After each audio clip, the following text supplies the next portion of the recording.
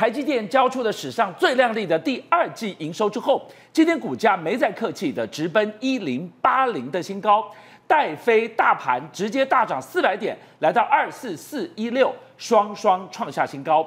市场上现在似乎弥漫着一股现在不买会错过行情的那种焦虑，但问题是，今天更进一步传出的台积电下周试产两纳米，苹果会是首批的用户。这也让七月十八号的台积电法说更受到期待跟瞩目了。而观众朋友，今天我们要告诉大家，看望台股五不穷、六不绝、七穿金、八带银，台积电之外，还有更猛的涨势、更疯狂的，就是答案在我们眼前的三个箱子、两个袋子之间。为什么？所有你想知道的营收加速器。就藏在这里面呐。对，没错。就像你知道吗？事实上，今天的台股或者是台积电真的强到没有朋友啊！台股真的屡屡屡次创新高，台股已经连七红，那盘中最高已经来到两万四千四百一十六点。我记得几个礼拜前大家在讲说两万三能不能，两万二能不能站稳，两万三能不能站稳，现在已经到两万四了。好，另外一个就是台积电，台积电呢今天呢盘中又触及了一千零八十块的历史新高，它最后也是收在一千零八十块的这个。新高大涨三十五块，那那为什么会大涨呢？它目前的市值已经来到了二十七兆，已经写在台股的历史新高。那有我们知道说，昨天刚好是张忠谋先生的这个生日嘛，对不对？他在二零一八年六六呃六月退休的时候，股价是两百二十，到今天已经来到一千零八十四块，一千零八十块的时候，已经高赚了三点八四倍，他自己的身家也突破。新台币一千亿以上是好，那为什么台积电会这么强呢？主要原因就是因为昨天下午公布了营收，它六月营收是两千零七十八点七亿，实际上呢较前一个月略微衰退，但是呢年增了三十二点九帕。你看年增三十二点九帕，尤其是最亮眼的是第一季的营收是六千七百三十五亿，季增十三点六帕。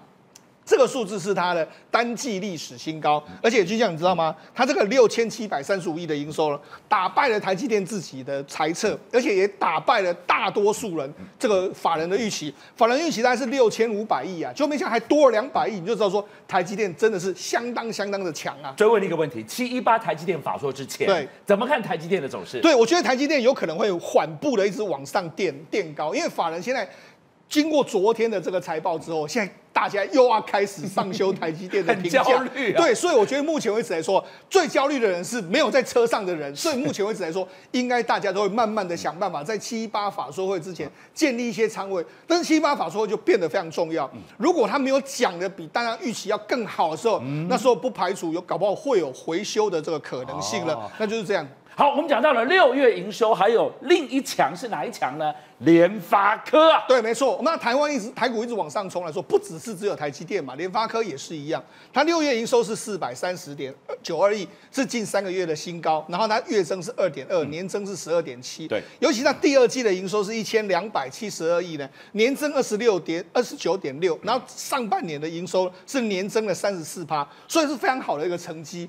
那你知道吗？事实上，它在今年第一季的时候，五 G 的这个占有率来说话，手机处理器已经占有二十九点二趴，是，这是什么意思呢？它已经超车这个全球另外一家高高通已经登基了。另外一个，你知道，在去年同期的时候只有二十二点八，也就是说，在一年间的时间里面，它市占率至少增加了六到七个 percent。是，那尤其是它的手机呢，未来更看好。就像你知道吗？在下一代的这个三星的这个 Galaxy S 二十五的手机里面来说的话。因为他自己三星目前遇到很大的问题，对高通的晶片，他自己的处理器都出问题的时候，他可能会用这个 MTK，就是联发科的这个手机晶片，所以联发科当然还有可能会有这个燃料继续让它往上冲。那你更不用讲 AI 处理器也是一样啊。我们台湾，我们我们昨天不是讲吗？台湾六月出口好，我就跟你说，一定代表这些营收都很好嘛。是，你看广达、伟创。或是英业达，他们的第二季营收要么就是创新高，要么就是这这几年来最好的这个状况。尤其是广达，广达你看六月的营收是十九个月来的新高，然后第二期是同第二期是同期的新高，上半年是同年的这个次高。所以你就知道，实际上因为整个代工的伙伴非常强的关系，当然从上游哎联发科，或者说上游的台积电，当然也不会差了。好，施总刚提到了六月的出口涨势创下二十八个月来最迅猛的成绩。你不要忘了，出口要有人运呐，航运股对太厉害了。是没错，我们知道杨明也公布六月营收，是它六月营收是两百零七点二亿，然后月增是二十二趴，是年增是六十六趴。你看现在台湾的营收都是年增月增的这个状况，真的很厉害，很多国家都没有这样的成绩。那尤其是他又营收又突破了两百亿，那上半年营收是九百六十三亿，年增三十三趴。那董事长郑珍茂对业绩的反应是说，因为我们知道前几个月的这个这个红海危机之下对，报价在往上冲，对他说他是反映前两个月以前的报价，那最近几个月又在涨价，对。所以接下来下半年呢，它营运呢，它其实是不看淡的，不看淡的。那另外还有两家厂商，这个其实最能够告诉你说，我们目前为止的内需到底怎么样。第一个，统一超写下最旺的第二季，然后全家创下单季的次高。那么统一超目前为止店数已经来到七千零一十八家对，它六月营收来说二七八亿，年增六点三，是单月新高。那第一季的营收是一千六百三十九亿，哎，上半年的营收是一千六百三十九亿，年增是七点九趴，这都是非常好的成绩。那全家的这个店数是四千两百五十八家，它六月营收是八十七点九亿，年增四点三帕，然后上半年营收也是略增增加六点六帕，所以告诉你说，其实可能在台股的效应之下啦。或者说他们有非常多的这个拉吸客招数，让他们营收往上窜高的机会。今天是七月十一号，Seven Eleven 的生日，你来看看他的宿敌、死敌全家对怎么展现相爱相杀。对，事实上，我觉得这个我们国内的这些手的小编们真的很厉害。为什么这样讲？今天刚好是 Seven 的生日嘛，对不对？你看，这是全家，他贴出来一个什么？祝这个全家小编隔壁同事 Seven Eleven 生日快乐。你看，就这样，因为 Seven 你们就在旁边嘛，你看他就弄这样一个，呃，两个互相的这个蹭对方的这样一个感觉，你就知道说，哦，他们真的是不只是超商打得很凶啊，在文宣上面也要护别是人苗头。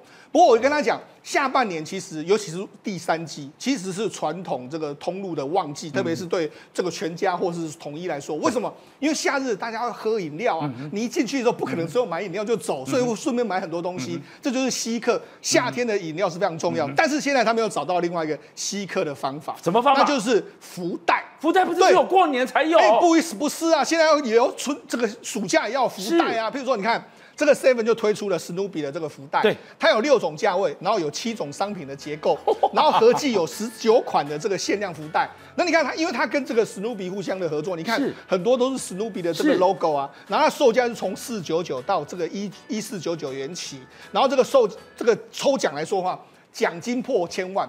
然后头奖可以独得市价一百八十万的黄金呐、啊！吓死人！所以过年才看得到的福袋，它这个暑假就现在才刚刚开始，对准备要摩拳擦掌推出福袋，变成营收加速器。当然，Seven Eleven 对出出卡器瓦，对为什么？全家怎么可能？当然啦束手在那里。就像我问你，现在股市赚大钱的时候，对。有人看到这个福袋，哎，好好买。买，所以现在是买。买气会很强的时间点。另外一个全家是说，我指定二十块以上的这个饼这个饮料，你两两件的话可以用四十九块加购很多捏捏球啦，或者哦九十九块花这个变脸的公仔啦，就是进来就对了。二九九元加购三丽欧的这个水壶啦是，它都跟三丽欧或是跟一些公仔互相合作。对。然后他还推出三款这个你看世界级的这个中原普渡香，我们就前面有一个普渡香这样一个状况。好，那除了这个全家跟统一，他们两个当然是互相在 PK 之外，哎，你不要忘记我们国内另外一个大咖的全联，全联他这次他也加入，那他是早跟大润发他们一起合发，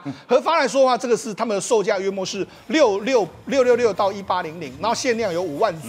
然后他跟知名的这个法国的军靴品牌互相合作，然后他的大奖是什么呢？他的大奖可以抽两台 Discovery Sport 修运动修理车，这个价值是冷霸班呐、所以他们就说，哎、因为福袋的关系，俊相知道，他们自己都预估哦，如果真的福袋大概可以推进他们业绩一层到两层的空间，那福袋又是一个吸客机嘛，你进去里面买饮料、买福袋，当然会买其他东西，这就是他们的这么的盘算呐、好，我们今天给大家传了各家的福袋，熊拱的东的家是，相相对赌，不要乱板宁护股，你来告诉我们，这是不同的福袋是怎么样变成营收加速器？对，没错。就像我们先来看一下，这是统一的。统一来说，你看它这一次 Seven Eleven，你看它这个这个箱子是跟史努比互相合作。你看，哎，这个箱子光是这个箱子，你可能在外面就很难找得到了，对不对哦？它可能就本身它的价值。是另外一个，我们再给大家看一下，它里面的东西，你看，我们随机弄一个，你看它里面有饮这个料都是生活必需对，品对饮料罐啊，啊还有这个零食啦、还有卫生纸啊，对，还有这个手巾这样一个状况。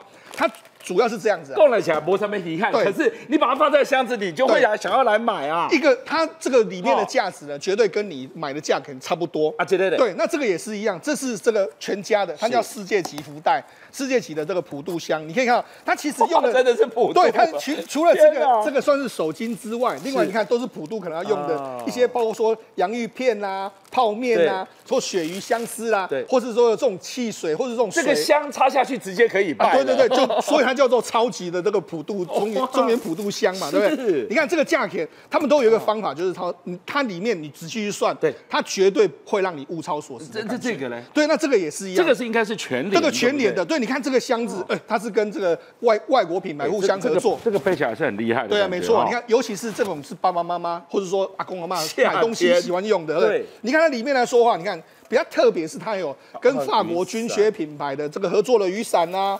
还有这个所谓喝水的这个水水壶啦那里面来看的话，其实就是你看它有日常也是日常卫生纸啦，或者说清洁剂啦，甚至是包括说像这个这个所谓卫生纸，还有包括说像饮料这样一些东西。好，那最后世聪我就问你哈嗯，福袋过年才有提前暑假来对开杀，是它如何扮演营收加速器？我跟大家讲了，事实上这种福袋他们都会用用一种所谓的心里面的因素。第一个，因为你福袋，譬如说花四九九、三九九的话，他跟你说，哎、我们的价值绝对不会低于你的这个状况。你看，哎你可以算一下嘛，其实大概都是跟你的价跟你买的价钱差不多，但是有一个期待感。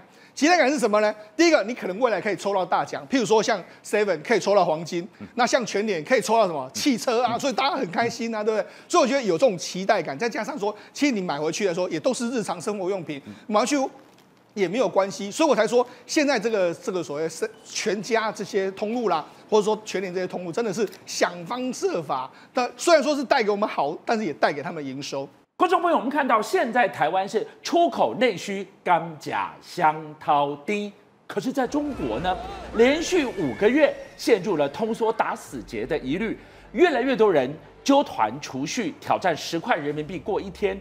更惊悚的是，你看看这部片子，票房保证的成龙，十八亿人民币成本拍摄的电影《传说》，居然只缴出了三百万的票房啊！其实我们在检视一个国家的这个所谓的经济动能跟它整体的状况来讲，消费者物价指数就所谓的 CPI 是一个非常好检视的一个状态。是结果你现在发现到中国六月份的 CPI 啊，年升是百分之零点二，但你如果从这个长期的曲线图来看，你会发现在将近这五个月里面啊，这里几乎都是一滩死水，接近叫所谓的零成长啊。是那其实有一般的经济学家啊，其实他预估说啊，今年的中国的 CPI 上升了，可能是达达到百分之零点六左右。但你知道吗？官方的目标是要到三趴哎。哎，那这是很大的警讯，你几乎是原地踏步哎。对，那当然了，这个消费者物价指数如果越高的时候，当然你有很多种解读。那又是通膨了对，那有可能是是通膨，但但是它也其实代表就是因为你的经济的这一块动能哎也有动能嘛啊、哦是但现在问题来了哦，你看哦，通缩繁荣跟灵活就业这些东西呢，表面上好像都是官方所说的这个讲讲法，但问题是劳动市场的危机真正出现，为什么？你光光看这个报道，他说中国刚开启所谓的通缩繁荣的时代，很奇怪啊。通缩怎么会繁荣？繁荣应该是大家拼命的消费、拼命买东西啊！我跟你讲，这个老实讲有一点反讽的意味。我们就讲哦，其实啊，小红书上面啊，最近有一个影片爆红，你知道，有一个自称叫小小仔仔啊、小仔仔的这个二十六岁女孩子，她就跟大家讲说：“哎，我分享啊，你看我现在开始做菜，对不对？你看她中间啊弄弄那个洗菜啊或干嘛的开直播。她说：哦，我告诉你哦，你以为她在教做菜，对不对？我跟你讲，他就打弄了这个鸡蛋啊，然后弄了番茄，就煮煮碗面而已啊。那你以为讲说，哎，这个东西有什么好看的？因为我跟你讲，它的重点是什么？你看看这里，报复性存钱。一天只花十块钱，而且他一天的花费是六块五的人民币，耶。哇，所以他原来在教你怎么样用五块钱人民币煮一碗面，还打一颗蛋。哎、对，而且他不只是这样，你知道吗？他还跟你讲说，哦，我还有做其他的东西，所以加起来是这这个价钱的。那当然了，你就讲说，哎、越过越寒酸呢，节省也很好嘛，对不对？但是我跟你讲，真实的背后现象是什么？你知道是什么为什么年轻女孩她今天做这个东西？因为呢，大家发现到中国青年的失业率啊，到目前呢破了百分之二十一啊，嗯将近五这个将近这个这个五分之一的嗯这个所谓的青年啊，他自己面临到失业的状况哦。那我们就来看哦，事实上你如果失业的问题，其实真正会影响的这种你的荷包嘛，你就没有钱消嘛费你也就哦，哎、你刚刚提到啊，成龙，成龙在过去哎，确实是这个所谓这个这个，不管是中国大陆票房保证，哎，很多人喜欢看，哎，成龙还当这个这个人大代表，对不对？结果没有想到最近有一个这个新电影啊，耗资三亿。六千万的这个人民币所拍的这个电影，他那时候本来讲说，哎，我预售啊，预售应该票房会不错，结果没有想到预售的成绩只有二十六万人民币而已啊。他那时候就觉得说，啊，那我这样预售不行啊，没关系，我就提早上映好了。结果你知道吗？大家都会看你首日的票房是多少，对，因为首日票房基本上就代表大家对你的期待性跟你的感兴趣度嘛。结果没有想到呢，开卖九小时票房只有六十一万啊。成龙哎，什么时候变这样了？六百一十万，我可能觉得都少了，你知道吗？他只有六十一万而已啊，所以它是不是也代表就是说，哎，今天大家要省钱省钱，哎，食衣住行你可能不能少。但是预热，我可能就可以能省就省啊，能省就省，就是因为我开始准节消费，我开始要降低我的物欲。为什么？因为。我看坏未来的经济，所以我要把更多的钱，现金是王道，我要攒在我身边呐。所以我们要从不同的角度进来看哦。事实上，你如果就它的整个存款率上面来讲，你看哦，中国人民银行的报告是说，今年首季哦，居民人民币的存款是增加了八点五六兆，增幅将近百分之十二。哎，是。那代表是什么？叫哎，不是没有钱哦，是把钱呢拿起来存，而不是拿起来消费。那大家会觉得说啊，那你一定是你赚的很多，所以你才。才有办法去存更多钱，其实不是为什么？因为现在呢，连中国大陆内地他们自己都发现到失业率加上企业减薪这些问题，会导致民众他对于未来没有这个什么，他会有迫切的危机感，所以呢，他干脆呢手上的现钱不敢花，直接拿去银行存。好，今天这一题听到这个地方啊，任俊不止一次去碰触到那个痛点，叫做失业率。过去我们常听讲，台湾也一样，大陆也一样。就是万一被裁员之后，可以去跑车，我至少有一部车，哇塞，可以回家，我就赚这个终点。是，没有想到现在中国大陆连车你都没得跑了，而且跑车很多人就讲说，我赶紧做淘 K 点对，我时间可以弹性，但我跟你讲，有时候科技呀跟人性之间真的会有冲突。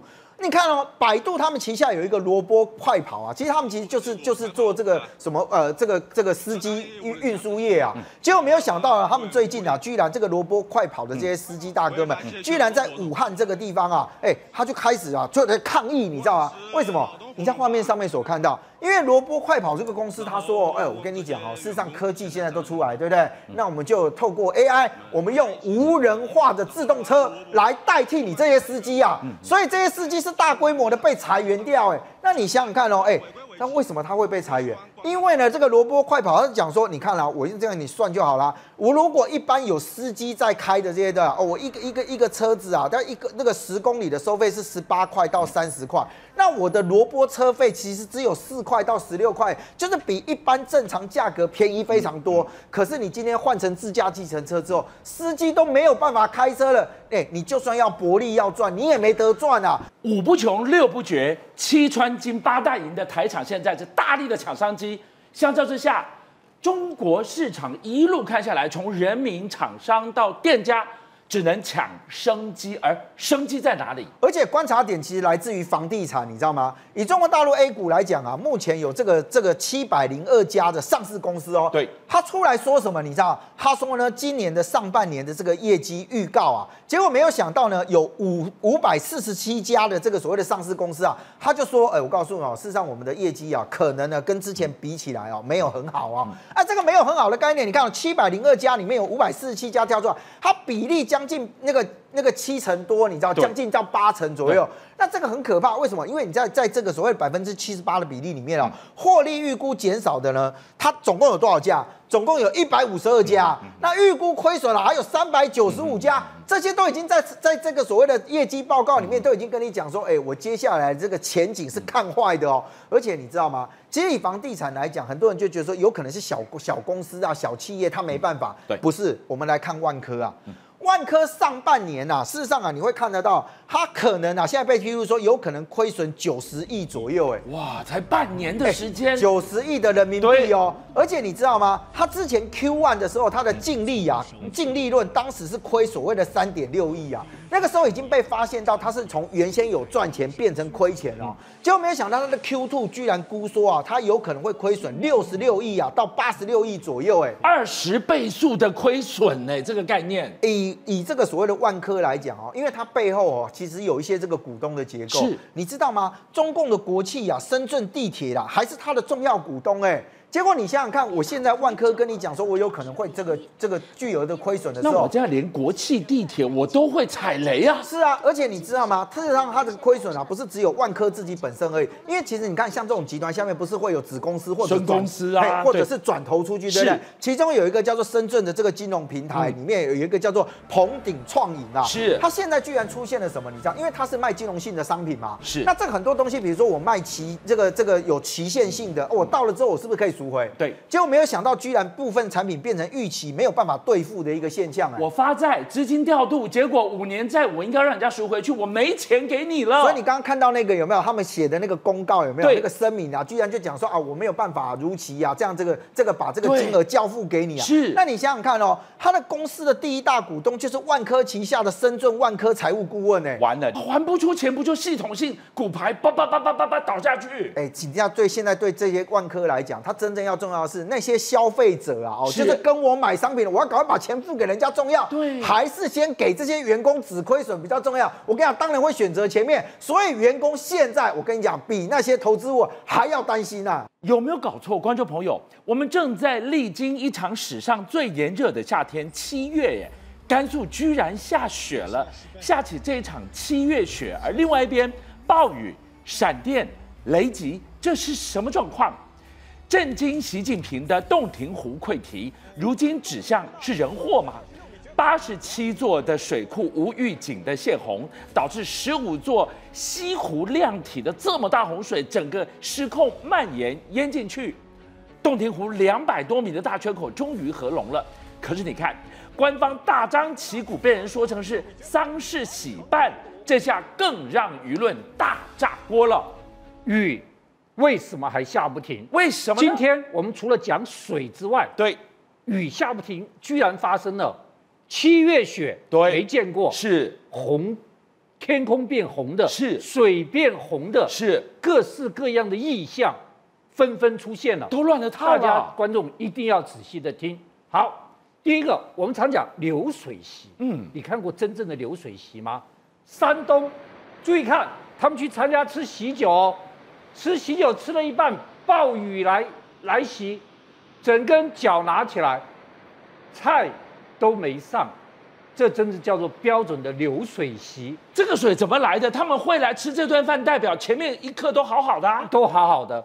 本来饺子可以放下去，是，本来还准备要上上菜的，是。但是洪水山崩从山下哗一下来，各位看这个水有多凶猛哦！坐在椅子上，是，脚伸起来。不敢动的，你看这水有多凶猛，多多多话，去参加婚宴呢，婚宴流水席吃成这个样子，你能够想象就知道这雨下了多急，是让人多措手不及。好，山东除了这个流水席之外，我告诉你，山东有一个非常有名的东西，中华鲟鱼。哦，中华龙鲟鱼是非常非常大的鱼，很贵很贵的鱼种。各位看，暴雨把整个都淹了啊！这些人在抓从鱼池里面冲出来的鱼，我跟你讲，光有一对夫妇，他们十几万斤的中华鲟鱼全部不见了，赔惨了。这是在下游捞，都去抢免钱的，抢免钱的。我跟大家讲，这个地方山东这个村的中华龙鲟鱼是价值五千多万。这个人民币哇，现一系成灾。好，我们讲完山东，我们要跟大家讲湖北。湖北巴东县是这一次受伤最严重的城市之一。各位看，你能够相信吗？这是湖北巴东县，注意看哦，这是街道哦，这是阶梯哦。我等一下给大家看，街道已经变成河了。你完全不相信那个地方湍急的河水，居然是街道。好。这是和你看，你能够想象吗？这是街道哎，它从上面下来，这是街道，哇，这个不是河流吗？这个，所以这是湖北巴东。是，湖北除了巴东之外，我告诉你，最可怕是汉川。你知道汉川发生什么事情？哇，这这个什么颜色啊？洪水。我告诉你，你如果住在那边，你会被吓到。这真的是洪水耶！洪水，红色的水，再加上洪灾的水，哦，双重加在一起，是你家里面淹水，就淹进来，是红色的水。为为什么是这个颜色？好，当然有去查，怎么会是洪水？原来是上游有一个染料啊，染料是被洪水一起冲下来。但是我告诉你，滚滚红色的水，啪淹下来，淹了整个街道，你会被吓到。而且还有一件事情，因为它是染料水，对，那个红色会会染的，是你的车子、你的轮胎，是将来通通变成红色。哇，这个颜色看了心很不安。那马老师，上海有没有？上海？雷鸣闪电到吓人，你去看上海的雷闪电，注意看，从这里开始，看到没有？哦，出来了，出来了，出来了，出来了，是，哇塞！我告诉你，上海的闪电真是惊人啊！哇，这下魔都变魔都了，一道一道一道的闪电，居然有人说何方道友在此渡劫？哦，看这闪电多严重！好，然后上海有闪电。然后，这个湖北有雪水，是我跟大家看，甘肃七月下雪，怎么可能？七月是史上最热的时候哎，大雪哦，大雪纷飞哦，哇，真的！七月下大雪，你有听过吗？现在是三伏天呢，对，三伏天是人间最热的。各位观众知不知道？今天是这个农历六月初六，是农历六月初六是一年之中。最热的一天，最热的一天，结果下七月雪，七月雪，你简直是不可七月大雪。好，除了老天给你下七月雪，罪再给你看，嗯，有洪水，对不对？是你有看过红天空吗？红天空，对，山东红天空，哇，是真的耶，红色天空，下大雨哦，红天。我跟大家讲，我有去查，连官方都讲不出来，嗯，为什么诡异的红天空？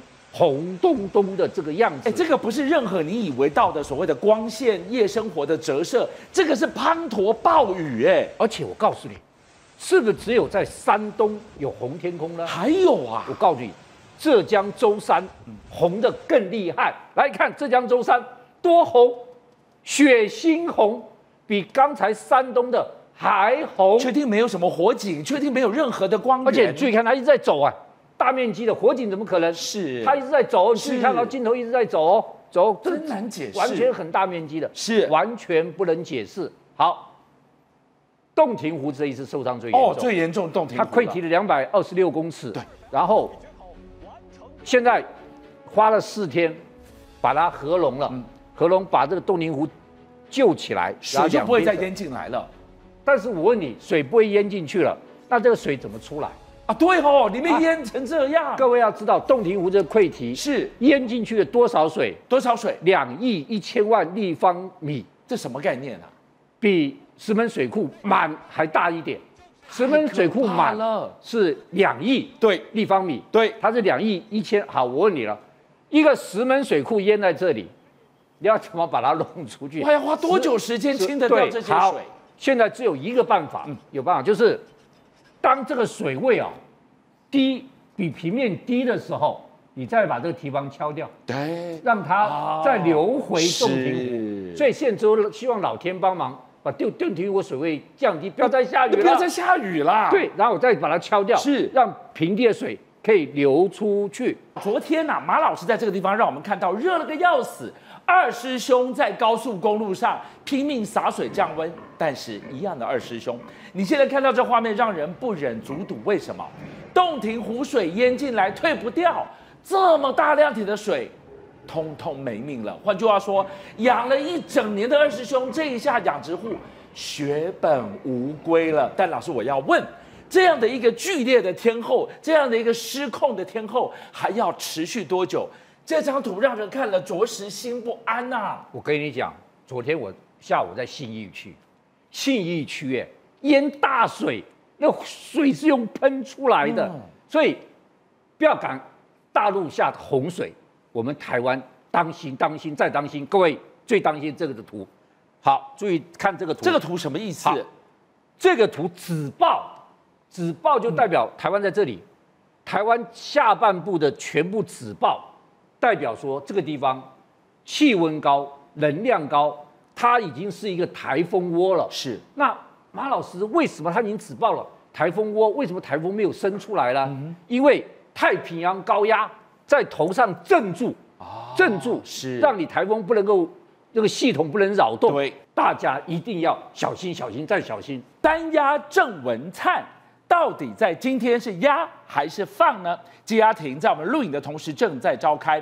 你看到今天郑文灿他提早来到开这个开庭的这个现场，证明什么？证明这一次的这个开庭对他来讲，他心里是非常的谨慎，而且非常严肃的。为什么？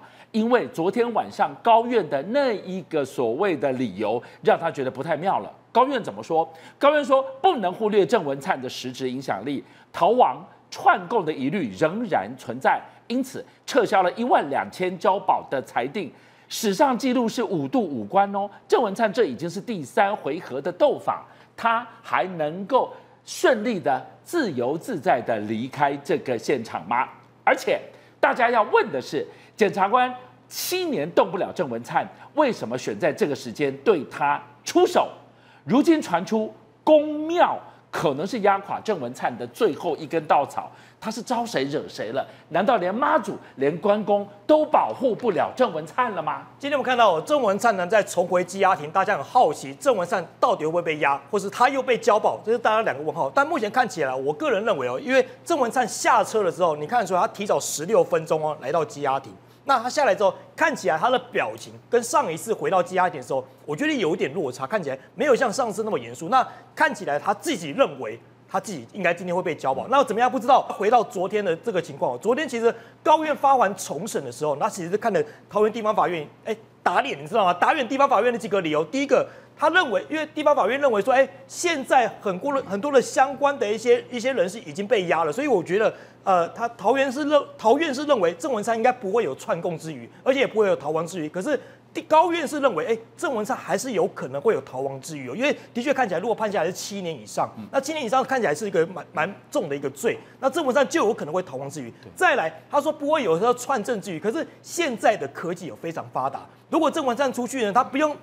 面对面的对对其他的一些证人来来来串供，他只要透过通讯软体，他有没有可能会串供的情况？这个是高院非常担心的事情。所以现在看起来哦，高院的这个这边声明哦，狠狠的打脸了桃园地方法院。他打下去之后，就看今天的一个羁押庭怎么判决。我们的理解是，这不止打脸而已，他几乎把桃园地方法院羁押庭可以让郑文灿交保的理由，一个一个一个一个通通斩断了。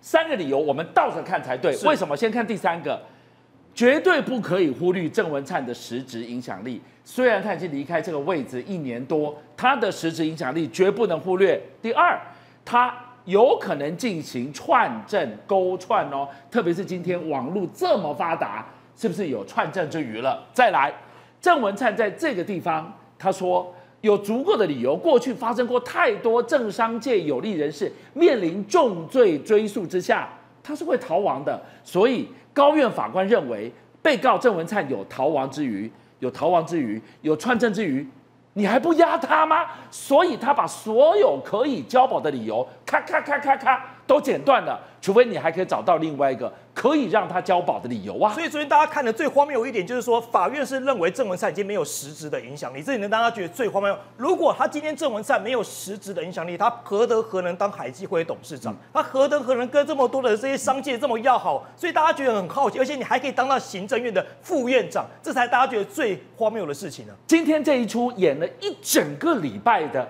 捉放捉放，史上最高纪录是五度五关，今天是第三度的大斗法。我就问，哎，七年检察官要动郑文灿，一根汗毛动不了他，他犹如神功护体，为什么他这么罩得吃的这吃得开，这么罩得住？过去大家看那个画面哦，就说郑文灿呢，不管是拿五百万现金，还是拿一千两百万现金，哇，感觉拿的好像很快，二十分钟、半个小时就把钱交出来了。那今天呢，大家看起来，哎，看起来他在桃园地方的检调或司法里面，他看看起来是有一股力量来支持他。因为现在看起来，因为郑文灿也当过，毕竟当过八年的桃园市长，那郑文灿的整个司法体系哦，坦白讲。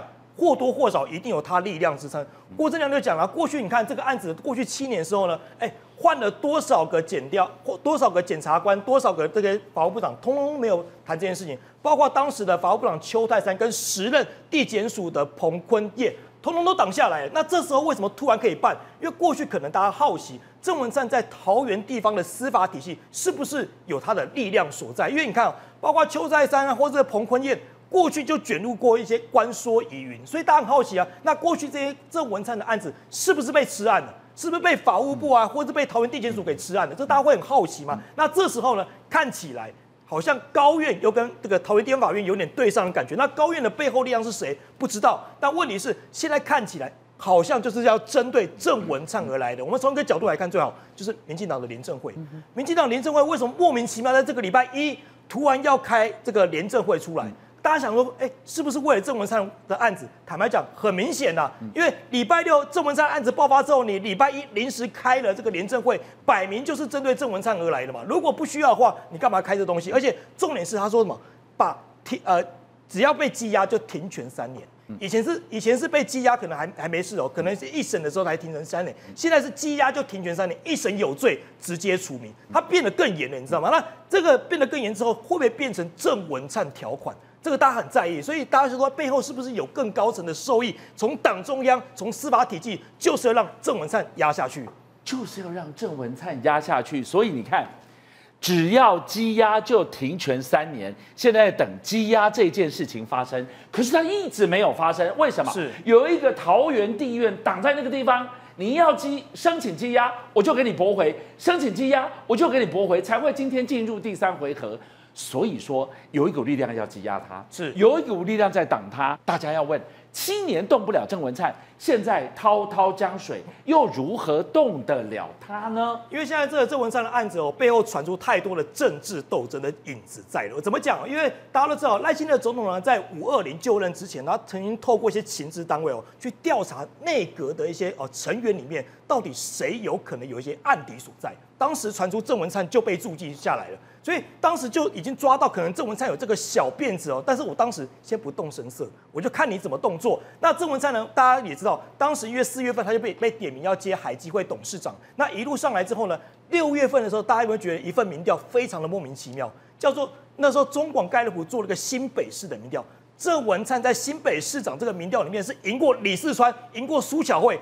独领全球，所以大家觉得，哎，那难道是郑文灿接下来的布局要从海基未来跳到新北市来选市长了吗？但一公几月公七月半啊，唔在西哇？为什么？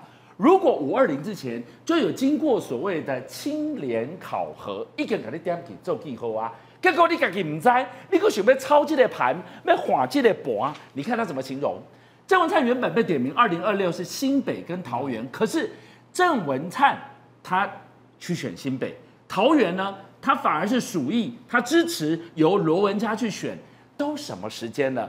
此一时彼一时，你已经不是小英时代的大阿哥了，还要等你操这个盘，这是你能决定的吗？我觉得郑文灿呢，就是他的政治光芒太刺眼了，他还不懂得藏拙，你知道吗？就把不不懂得把光芒藏起来，反正这光芒呢刺到了赖清德身上，因为别的不看，这个选举布局呢，其实。坦白讲，党主席是赖清德，党主席说了算，哪轮到郑文灿讲话？再来，现在郑文灿当了这个海基会董事长的时候呢，大家都注关注海基会董事长这个职位哦，在赖清德上任之后呢，其实变特别敏感。为什么？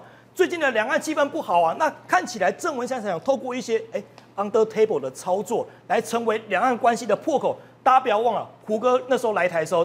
郑文灿就被点名说，哎，是不是当中间的一个穿梭者，让胡歌来台嘛？那再来就是说，哎，郑文灿似乎也想用利用宗教的关系，包括什么妈祖啦、关公的这种宗教，两岸交流当做自己的垫脚石。也就是说，两岸关系急动，我们原本那时候不是还在吵说什么宫庙啊，是啊神尊什么时候变成了第五纵队，变成了搞破坏被利用的对象？原来从这里来的。没错，你看到当时梁文杰非常生气哦。梁文杰，你知道什么时候罕见出来刁这个郑文灿吗？他说：“哎，妈祖啦、保生大帝啊、关帝啊，都是中共对台的统战工具。”结果郑文灿想要利用这样子的宗教来做两岸的交流，你不就自己自己自找苦吃吗？所以当郑文灿他自诩是两岸交流的开明派，民进党的开明派，他想要冲出一个自己的代表作的时候，立刻被梁文杰打脸画红线。你都不要想，你想要利用宗教交流，你都不要想，妈祖、保生大帝、关公可能都是统战。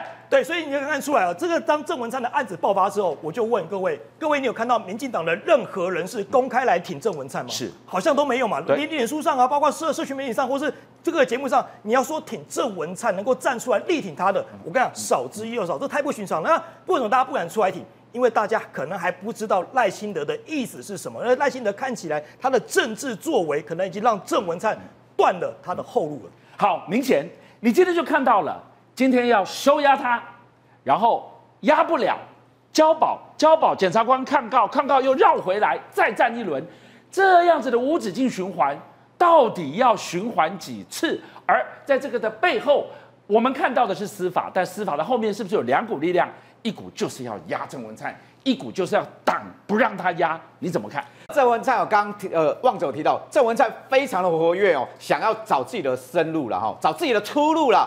郑文灿，大家回想一下哦，三月的时候，郑文灿接连去桃园很多次哦，三四次哦，为什么？所以地方在传啊，郑文灿过去有封号叫桃园王嘛，下接桃园，北接双北，有可能郑文灿就回去选桃园哦。那双北也有是有可能布局嘛，所以郑文灿那么活跃啊，其实底下情治系统用点名这记号啊，赖清德不能用他嘛，那郑文灿自己找出路干嘛？是不是又这样又得罪了赖清德？最新的媒体报道是这样子啦，当初我七年前在办这个案子的时候，监听译文就流出来了哦，曾经那这个案子还有地主在通话的过程中呢，讲哎拍谁哈？这个我的电话不干净啊，上面有上面有人在听呐，所以连地主涉案的地主都知道说被剪掉监听了嘛。那为什么地主会知道剪掉监听是谁泄密嘛？当初为什么流出来？谁在掩护这个案子？所以现在是这样子啦，收押的今第三次羁押庭啊，传出说新的呃陈审的法官呢是一个人权的法官呐、啊，到底会不会羁押？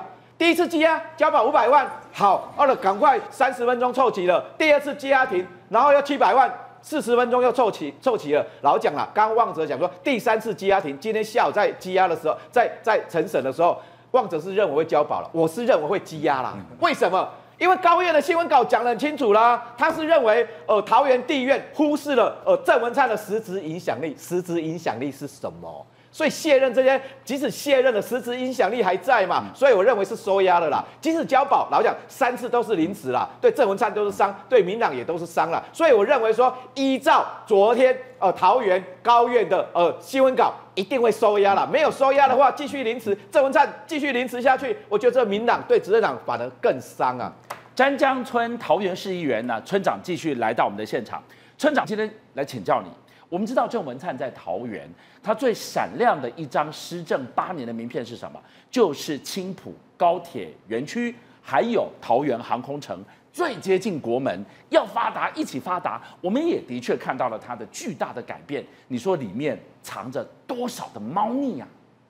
航空城哦，过去在呃吴志阳年代，他那时候是用县府里面的这一些主管。呃，去兼职航空城里面的啊董事长或总经理这些职务，因为航空城它的当时土地它并还没有开发，也还没征收嘛，哈，所以它并不会有所谓的招商实质招商这个意这个任务所在。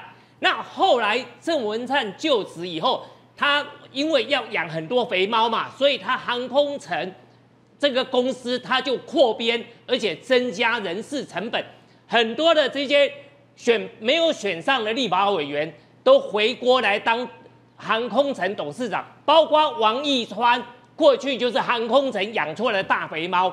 那郑文灿他就职的第一任，他还搞了一个自驾园区，因为当年最流行的就是自动驾驶，包括苹果当年也是要搞自动驾驶，后来苹果烧掉几千亿美金以后，就搞不下去了，喊停了嘛。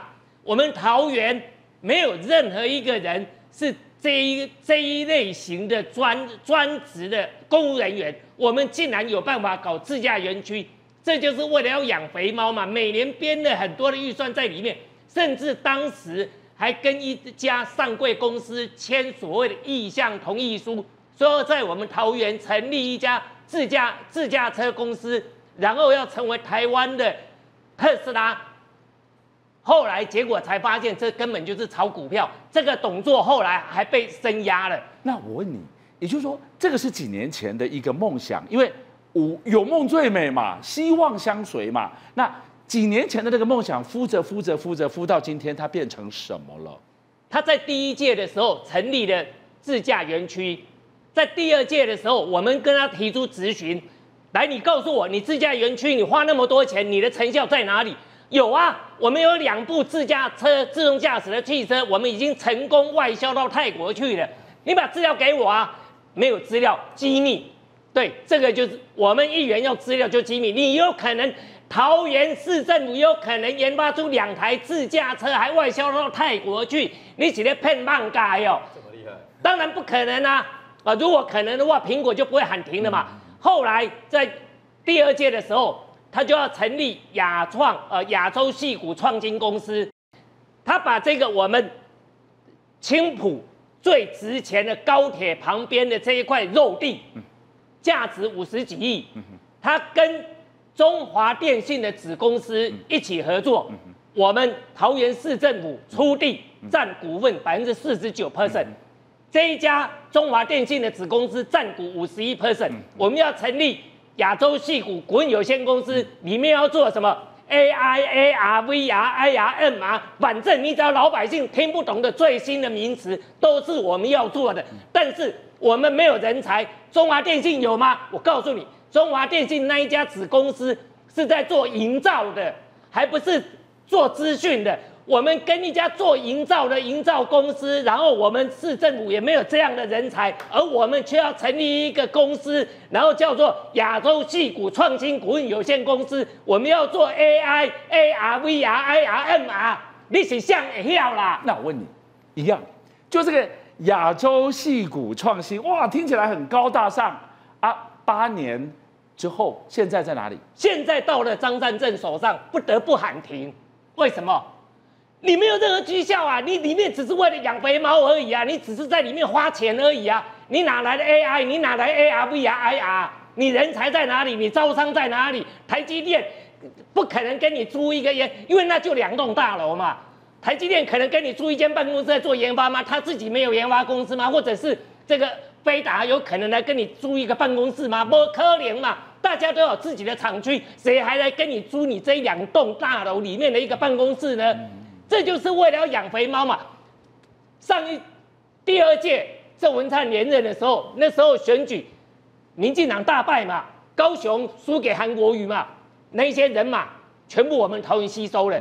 台中也是选输了嘛，也是一样，人马都到我们桃园，我们桃园通通都养。所以，我们桃园成立很多这些莫名其妙这些公司，然后这些什么基金、什么文化会之类的，然后就让他们来这边，我们就养那么多的肥猫。所以，我们桃园这几年，郑文灿卖掉我们六七百亿的土地，我们这些基金的费用，通通都被他用光了，以至于到现在张三镇主政了，我们变成要贷款度日。郑文灿压或不压？今天您录影的这个此刻，观众朋友，法官、检察官正在进行第三回合的大斗法。我还来告诉我们，交保、抗告、发回，再交保、再抗告、再发回，是要轮回几次？这么折腾下来，哎，郑文灿就算躲得过收押，政治生命没死也半残了吧？好，俊亮哥，有抱歉的观众朋友，昨天就在这里，我就跟俊亮哥讲说，进去了又出来了，进去了又出来了，对不对？还真的有一次，你要想说他怎么样啊？张给他这个新闻，张都给你传本本啊？什么意思？本来今天才知道高院会不会二度跟裁。结果呢？高院在昨天居然哈快马加鞭讲说，哎，我们阅卷比大家想象中还快。观众朋友，昨天中午去查新闻，是高院说呢，到底要不要跟裁？可能今天七月十一号才有答案。但没想到到昨天傍晚的时候，高院讲说，哎，有没有？三点还说不会跟裁，结果呢到了四五点的时候讲说，不，我们快得很快，快得非常快啊，哈，所以马上就跟裁了。所以本来今天才有的答案，昨天已经给了，就是高院二度跟裁桃园地方法院让郑文灿交保的决定。啊，不是喜欢的嘛？我五百万交保，你干嘛唔丢？我几千两百万交保，你干嘛唔丢？那怎么办呢？灿笑不见了，只剩无奈。郑文灿此刻也知道这一关不好过了。观众朋友，昨天高等法院二度跟裁，不让桃园地方法院交保郑文灿的理由。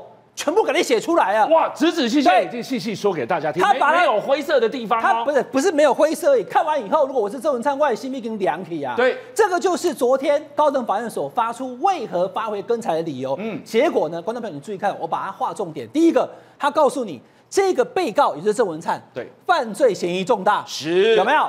犯罪嫌疑重大啊，七年以上哎，贪污治罪条例，那你怎么可以让他随便交保？请问另外四个人杨姓、侯姓、廖姓父子有没有收押？压在里面啊，对不对？那为什么他不用押？第二个，为什么不用押？很简单，观众朋友，没有串证逃亡之余的人就不用押嘛。那所以这个叫犯罪罪罪那个罪行重大，说嗯他不会逃亡啊。桃园地方法院跟桃园监狱讲说，你把拜托哎，他是郑文灿嗯哎，他是行政院副院长哎，人家是有头人人物，怎么会逃亡？对不对对？好，来观众朋友，高院讲说什么？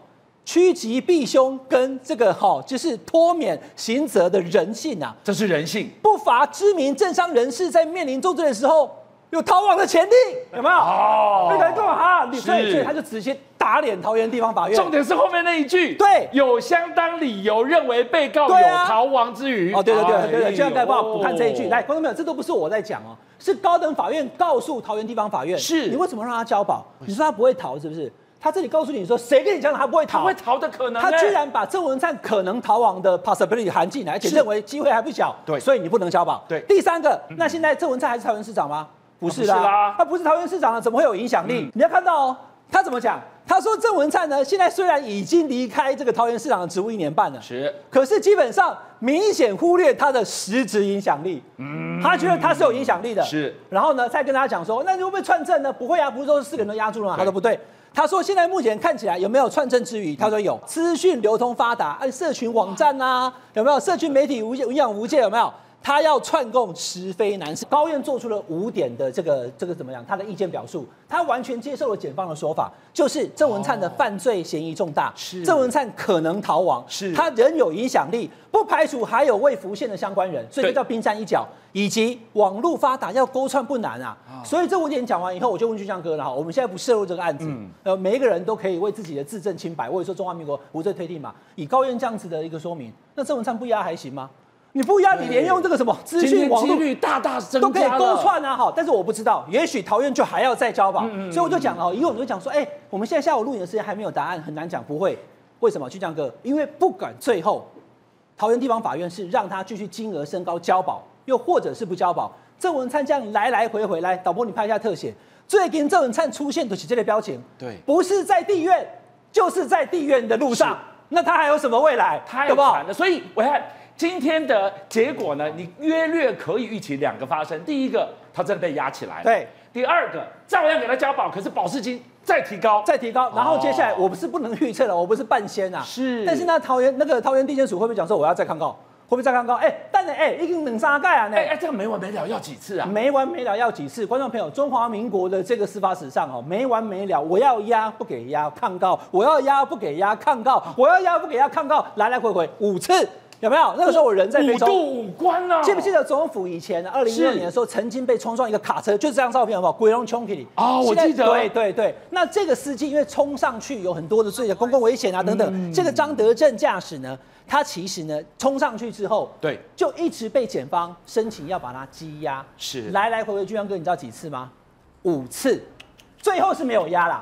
但是检方就一直认为要压，所以就不断的抗告，不断的抗告。现在郑文灿到第三次，嗯观众朋友还有比他还更多的，曾经有五次的羁押，但最后并没有裁定收押。好，今天还有一个讨论，就是说上面狗爸班上面一千两百万，这个这个吴子嘉董事长他说，哎、厉害哉哦，今天郑文灿的身家几个亿开始起跳，他都觉得是天公地道的事，哇，真的还假的、啊？吴志尧董事长有他的了解，就是说他认为他是认为说跟他这个交好的这建商会愿意先拿钱借他啦，不管多少钱都先借给他这样子哦。但是这个说法反而会让大家去想说，哎，那是不是他跟建商的关系真复杂？以前郑文灿在民进党野百合世代的时候，他是一个头脑清楚而且点子很多又笑脸迎人的周瑜，后来因为应酬多就变胖周瑜，是，但结果现在这样子进来进去进来进去以后要变赵子龙了，你到底要七进七出几次？那观众朋友，因为整个案情往上在烧，好，这是最新的一个呃怎么讲？就是说一个资料铁证在这里哈，来，居然哥你看这写什么？总统府用监有没有？俊松理事长会见，这是吴钊燮回的哦。二零一一七年，民国一百零六年十二月，就是我们在讲，在这个事情发生之后，地方希望能够土地重划，农地变成住宅以后，你看到这边有一个重要的字，我画起来，总统至为重视，有没有？是，就是赖信父子不但是去拜托郑文灿，甚至拿了五百万去郑文灿家。还往上疏通，连总统府都去澄清，而且当时总统府有秘书长回函，那当然了，这个就是铁证嘛，确实有这个总统府用签。对，可是总统府也有回应，他是说，哎，任何只要是社会贤达来跟总统府澄清的话，我们都会给他一个用签。有给用签，不代表总统府会用特权去办，而且最后这个案子内政部也没过，所以呢，这个后续到底有多少问题，就用多少证据来说话。昨天我们不是说了吗？这把火会不会烧向了行政院跟总统府？桃园这个地方，郑文灿市长在召开会议，然后同一个时间呢，陈情书进到了总统府，总统府呢又把这个 pass 到了行政院，火是不是烧进去？都在为了这个九点二公顷的农地在护航吗？来，今天我们看到了最新的一个消息，行政院提出反局，他说你们不用过度解释。曾经过去也有两个例子，也都是这样处理的。来，打波我们往下看，他提出了一个什么样的一个说辞跟理由？大家，今天呐，这个韩文里面上面的文本来就都会写上“卓处敬父”，这个就卓荣泰的卓了哈，也就是请各部会按照业管熟悉的范围，完整的回复给民众。这个没有护航，这个没有什么加速读后谁的问题，外界不必过度解释。董哥你怎么看？我觉得，哦，总统府当然现在所有事情都要北京啊，每个案子对不对？搞不好明天他就要开始北京，他们不认识吴明达，哦，就 就是都会来。那我觉得郑文灿这个案子啊，对赖清德最大的压力就是很多人都很清楚，你只要干掉你的竞争对手嘛。但是我觉得这个事情哦，总统府现在为什么会这样？因为大家觉得整个社会上这些案子都跟你有关啊。那今天哦，他们被人家这样讲，就赶快跳出来了。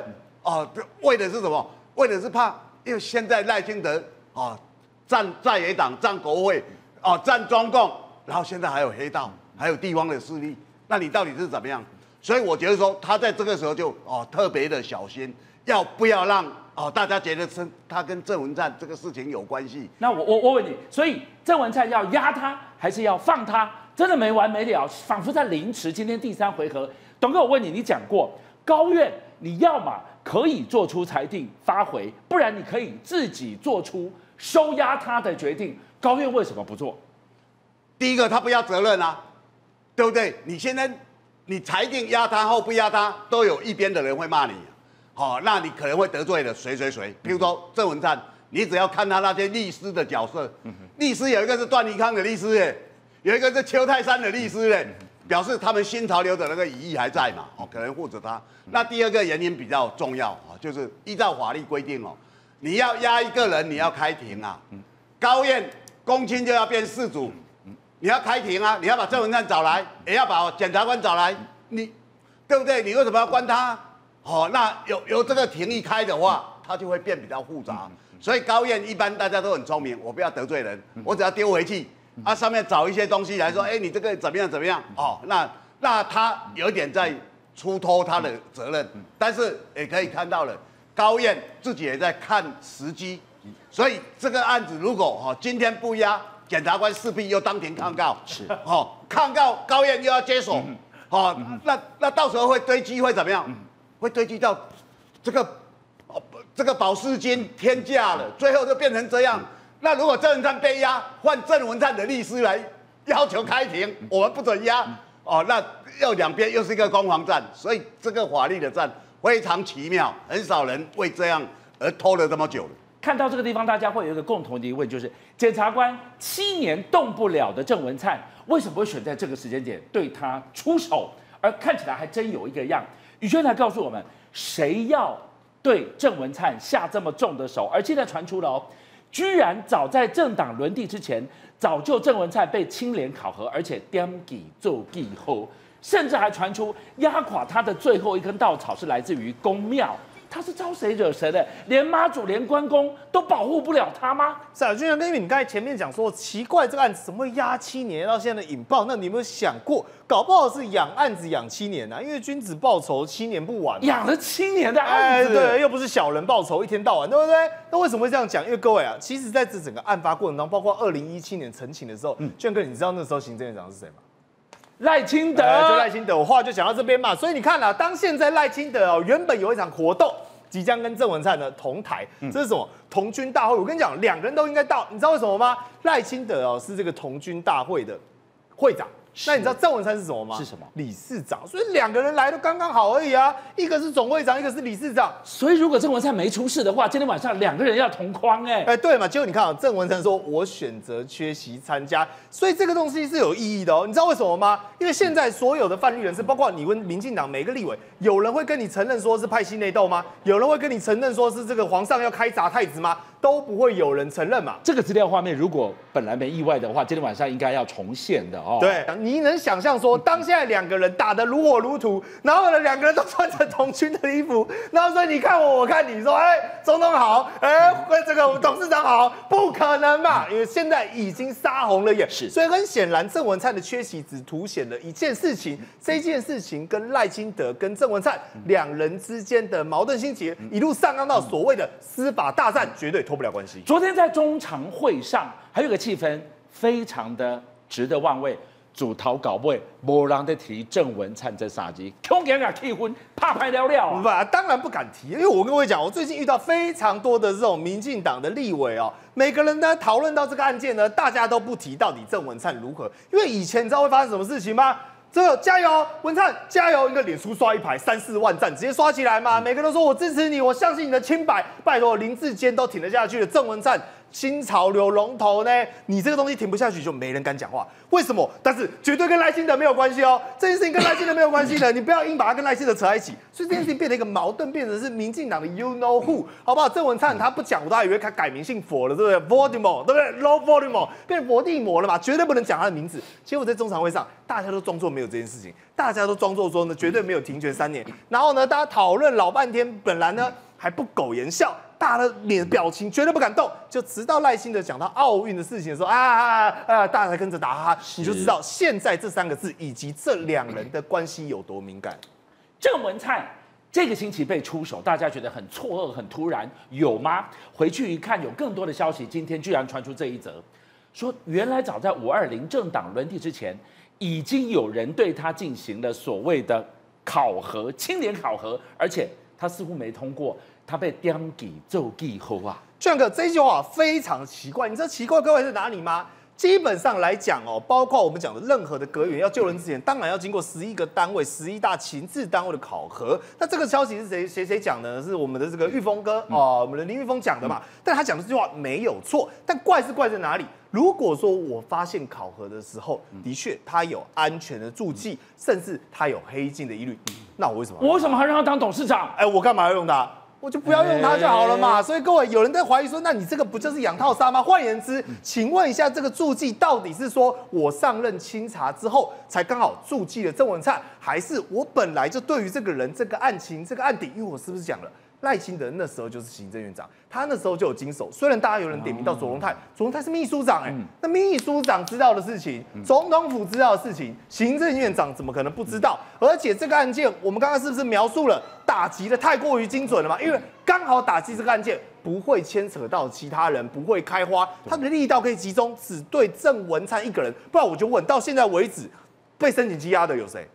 就郑文灿一人啊，其他人是厂商嘛，不是政治人物嘛，政坛没有波及到其他人，所以到底这个是刻意的注记，还是说不小心的发现，非常耐人寻味。哦，毛毛的。如果你在辅以接下来我们要看的，本来今天还传出了海基会董事长赖总统眼里的第一人选也不是郑文灿呢。所以这个各位，这才是最可怕的地方。因为赖清德哦，他的人事任命，包括我们讲郑明谦，包括我们讲卓荣泰，你有发现有一个特色，就是说唯亲适用，对，基本上都是台南帮。对，不是台南帮的，你休想新潮流也没份哦。要是赖系清流的才有份哦，你一定要是赖清德的人马哦。所以在这时候，为什么一个郑文灿竟然会塞到这边？所以他们有两种解读嘛。第一种解读就是说，哎呀，蔡英文硬塞的，所以赖清德真的没办法。但另外一种解读就可怕了，代表什么？你才硬塞人进来，我上任之后，我马不停蹄，我连让你多待两个月、三个月，我都忍不下去，我就是要你人头落地。还有另外一个，今天大家都在想，都在当柯南，为什么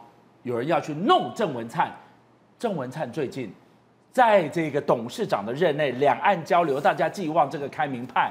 他是不是惹祸上身啦？因为我这是亮哥讲的，亮哥哦说什么？说哎呀，郑文灿就是两岸关系太好，因为这种这个宗教交流，包括甚至现在有人陆续爆料说，先前胡歌来台是不是引发广大的风波？对，说是统战，说这个这个怎么可以这样子做？就后来发现，哎，好像是郑文灿引荐进来的，也不知道为什么这个消息就走漏喽。因为那个时候其实有人去问郑文灿说，哎呀，文灿啊，文灿，啊董事长，董事长，你真的做的太棒了，竟然把胡歌请来，你知道郑文灿说什么吗？不，没有，没有，跟我没有关系，不要说我，不要说我，不要说我。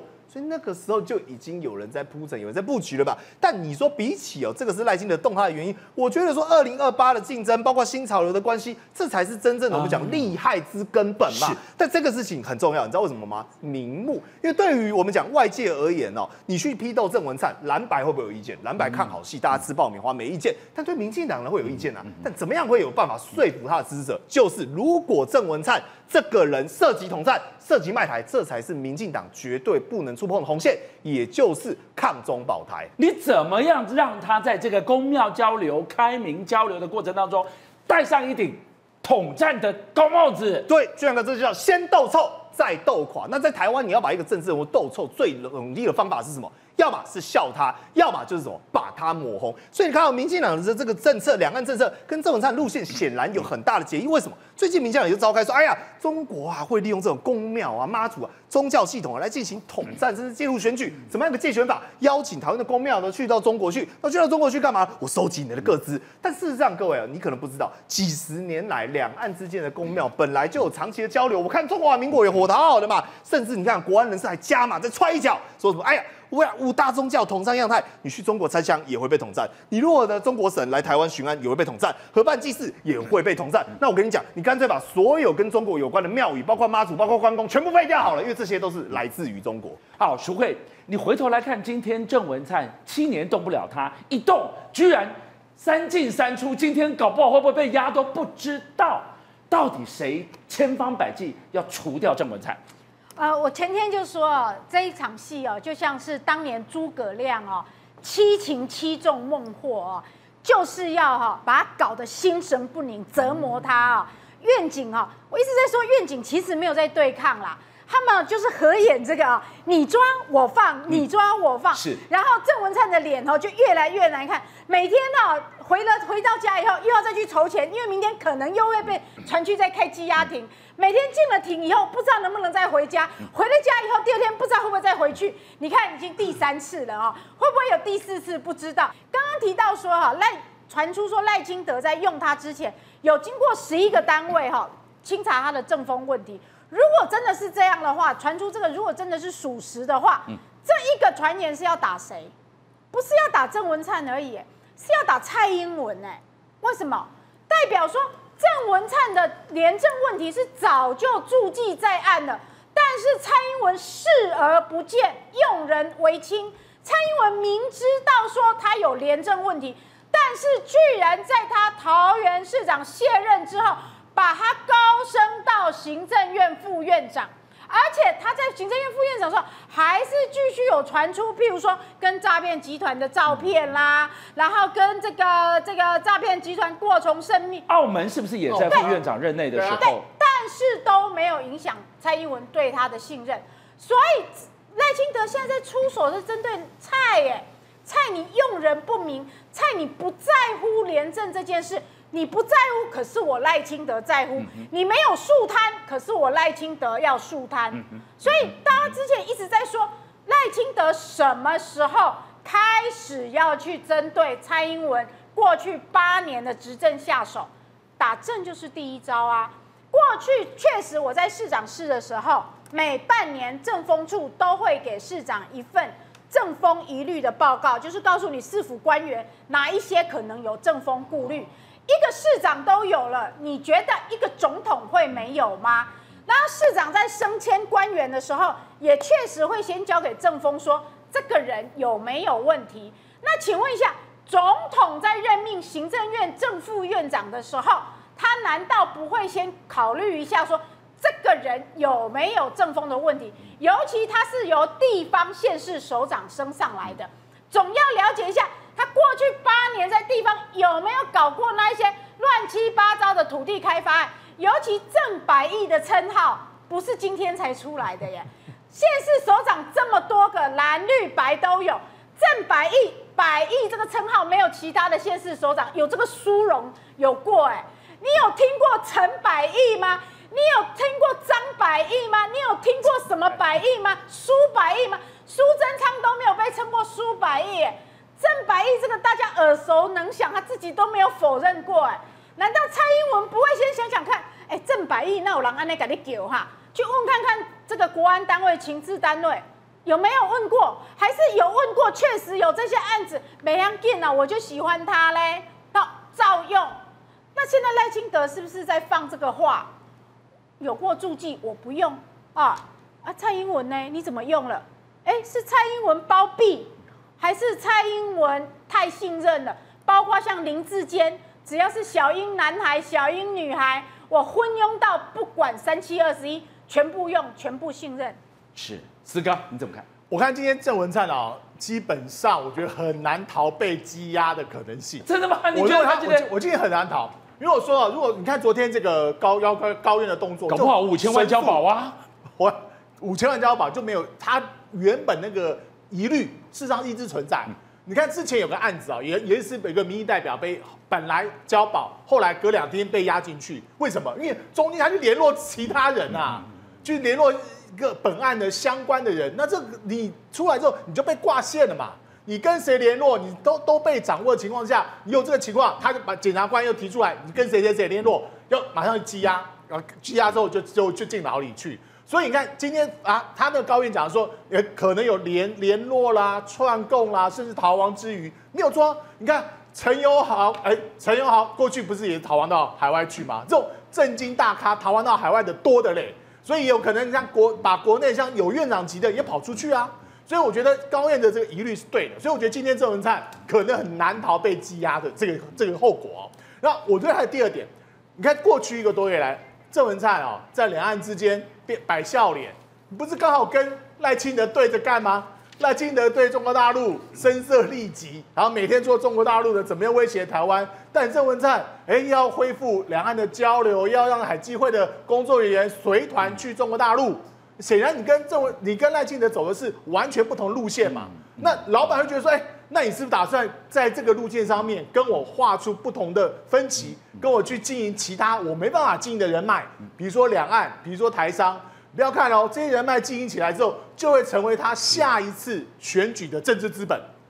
他或者在民党里面就会有另外一个路线的代表人，甚至有一些中间路线中间的人或淡蓝都觉得说，哎，郑文灿走这条路线我可以接受啊，所以就在这个机会就把它连根拔起。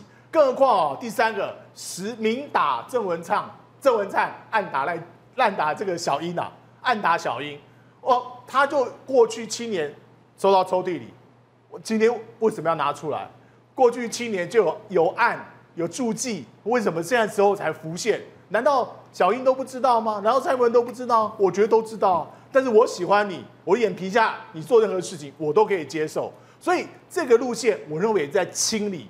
小英的路线，清理小英的人马，这些过去在蔡英文时代，哎，吃香喝辣、呼风唤雨的人，真的要小心了。台南区域会理事长林世杰命案，凶手还没抓到，全国大扫黑，一扫下去，台北就传出枪响。被开枪的是大同区在地的角头吴明达，他最近卷入了很多起的重案，开枪伤人不取性命。哎，这一次凶手对他警告意味极浓，动机是什么？更诡异的是。枪手是投案了，公称我是不满他强收保护费，但问题是，你亮出来那把枪，居然是跟美军同等的高规制式手枪。案情有这么单纯吗？事实上，在台北市的街头，尤其你看那个画面，大白天发生这种枪击案，是你知道吗？其实新闻报道就讲到说啊，当这个这个这个救护车抵达到现场的时候，居然发现已经有警察啊什么什么在那里去看。后来大家讲说奇怪，据传是有两位伤者嘛，再一看的时候，哎，这伤者之一的身份不单纯，你知道吗？因为他是威震董座啊，叫做吴明达。那他那个时候实际是在一个三温暖的外面啊，遭到这个所谓的枪击，而且你知道吗？诚如你刚刚所说的，这个枪手啊，事实上啊，连开五枪啊。那连开五枪之后，很多人觉得说，哇，天哪！过去我们看到几个什么枪击案，是不是枪手开了枪之后就跑掉？结果没有哦，这个枪手呢自己还带枪去投案。那警方一定会去问嘛，就说，哎，你到底为什么要开枪？你有什么深仇大恨？他说呢，哦，我跟你讲哦，我是一个咖啡厅的老板，但是呢，因为有那个他们派人来收那个派小弟来跟我收小哎保护费、小费之类的啦啊，所以他就觉得说，我真的是过不下去了，所以我才埋伏在这个地方呢，开枪打他。好，人抓到了，枪也抓到了，动机也有了。这个案子就翻页啦。好，但你先回来看哦。事实上呢，哎，有很多这个现场后面的这个画面啊，就一一曝光啊。比如说呢，哎，你看到这个画面啊，是吴明达跟他，因为另外一个伤者就是他的这个司机嘛，啊，那他们呢，其实啊，那个当时当时啊，这个救护车把他们送到医院去的时候，哎，还有大批的这个警力在旁边介护啊。而且据说他在那个时候还讲说，哇，还非常镇定，讲说，哎，叫大家把门，叫那个救护人员把门关起来或干嘛。可是你想想看，为什么会有警力警戒在那边？因为呢，其实担心说，哎，会不会有第二次伤害，或者是其他纠纷出现哦？那以这个所谓的吴明达来说啊，因为他自己本身有一个中华民国威震爱心发展协会嘛，他们在昨天晚上的时候就发了一个声明哦。他声明里面其实提到一件事情，他说呢，哎，你今天凶手去开枪，可是呢，按照现在的这个这个警方所公布的这个资讯来讲，这个凶嫌拿的是什么？他拿的是 SIG 的 P 三二零自式手枪啊。什么叫做自式手枪？我跟你讲，什么叫做自式手枪？你知道，就是不是土造的啦，不是改造手枪，这是原厂出来的，这是原厂出来的手枪。而且呢，警方现在也讲说，哎，这个所谓的 SIG P 三二零的这个自式手枪啊，它是现役美军他们自己本身有在配备使用的。那你姐的嘎比天在逃给你哪来的这一把自式枪是这么高规同等的？好，这个枪呢，基本上在国内里面哦有流通啊的数量其实非常非常少，你要通常透过特殊管道。所以你看他的这个这个所谓吴明达的这个协会，他就讲说，哎。你今天一般咖啡店的老板有这么有可以有门路，想要拿枪就拿枪，不合理。台湾不是庆忌之都，是手枪之都啊，对吗？所以呢，你看了他就讲说这个东西呢，他们觉得有很多疑点，所以你看他后面这一句幕后指使者啊，后面还有人吗？就代表他怀疑啊。后面还有人。好，那警方一定也会问嘛？哎，啊，你这个彭姓的枪手，你怎么请局对啊？我跟你讲，这个答案完全不出意料之外。啊，我有一个朋友啊，他过他之前一把枪在我这边，他过世的时候枪就继续留着。哎，这个听起来好像也不知道哪里怪怪的，什么都是别人留给你，而且那个人都还死掉了。这个是非常粗糙的一个说法，一定要查下去会开花。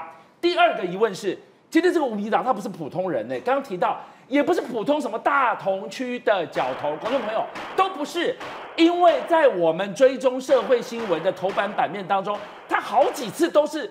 版面上的人物哎，其实呢，吴明达啊，他其实在发迹的时候，就是在社会上面走这个走闯嘛啊。对。那在一九九九年的时候呢，那是涉及北联邦的一个枪击案啊。是。那结果呢，有人的讲法是说呢，他也因为这个枪击案啊，在黑白两道上面呢，哎，大家都哎打响了这个名号。结果入狱服刑之后呢，后来啊又传出来讲说，他也有涉及到其他的这个所谓的社会案件里面啊。所以大家对于他的这个印象，其实都来自于说他的社会关系非常好。是。但是我也必须讲，他后来成立这个这个。中华民国微珍爱心发展协会，也就是呢，你现在画面上面所看到，他们也是开始做这个所谓的社会公益的这样一个活动啊，而且到处啊去送物资啊，关怀什么。所以有有人觉得说，哎，他是后面的这个社会形象其实是很好的啊。可是我也必须讲哦，其实以吴明达自己本身来讲哦，他过去这一段时间月上版面的时候，有些啊都是属于花边新闻。像他之前啊，他有个这个这个前女友被人家称之为叫做殡葬业的这个蔡依林，那时候一度闹上新闻，是他的这个前女友啊跟他讲说。说哎，我们之间有感情纠纷，还说什么啊？疑似动用媒体啊，或干嘛去打压他，或干嘛？结果我就讲啊，哎，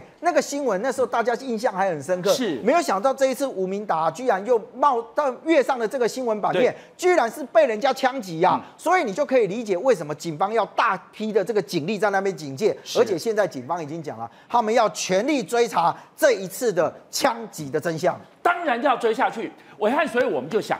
今天如果是因为一家咖啡厅，他不爽被强收保护费，可以亮出这么高规的美军同等制式枪支，你不觉得怪吗？不止如此，这么巧，进一步爬书发现他热衷公益的过程，他跟陈世忠，他跟郑文灿都有互动，五高博有交情。哎，郑文灿、林世杰才相继出事，现在吴明达也遭到 bang bang 背后水有多深啊？好，今天刚好报新闻的观众朋友，吴明达居然中枪了，两个特别，第一个人特别，第二个时间特别。我先讲第二个，是不是才刚刚因为台南的林世杰的案子，行政院院长才宣告说全台大扫黑，大扫黑啊！啊，大家供你啊，哎，卡抓出谁的亏欠，才在告诉你，哎，观众朋友。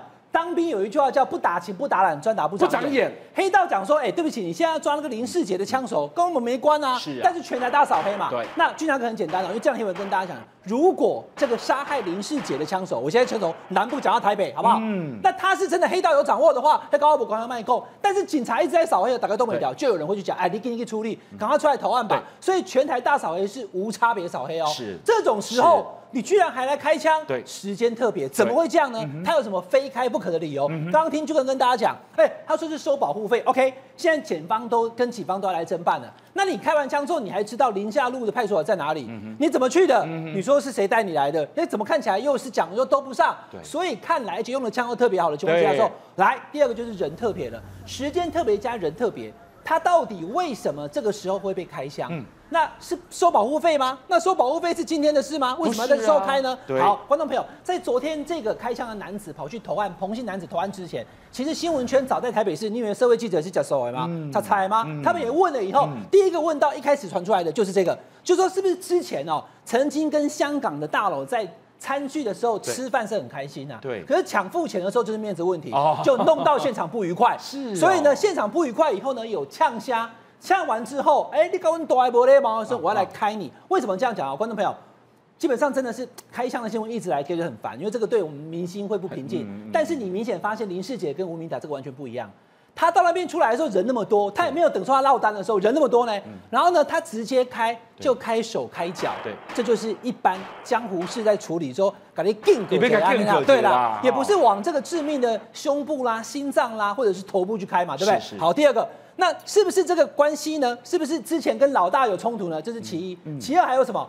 还有一个呃，大家去爬出说，哎，是不是你跟谁有恩怨？不然谁要来开你枪，对不对？另外一件事情就是五年前在大同区的时候呢，有土地开发案，这个就最复杂。你有土地开发案的时候，你去筹募资金，人家也给你钱，以后后来那个开发案哦。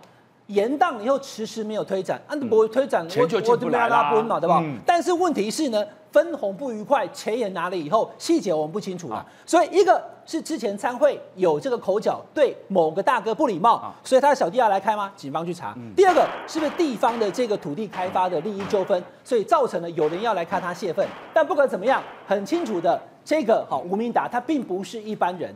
他其实基本上呢是一个常常上新闻、众所周知的半公众人物，而且在全国都已经有不止行政院长啊，俊江哥，连赖清德总统都要跑出来讲，有没有？他说我们要我们要这个打诈骗，我们要肃贪，我们要扫黑。没错，总统说要扫黑，院长下令全国扫黑，就这种时候你在台北市。